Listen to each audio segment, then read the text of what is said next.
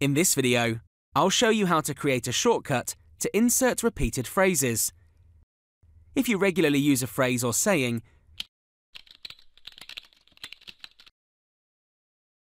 you can create a shortcut to insert it into an email. Copy the phrase. Click the File tab. Click Options. In the Mail tab, click Spelling and Autocorrect.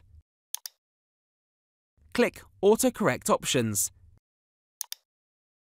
Your copied phrase is shown in the With box.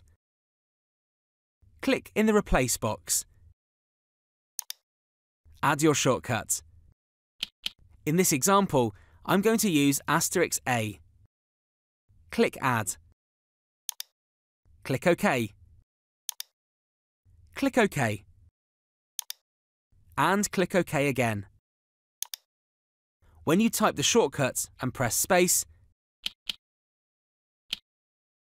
the phrase is entered.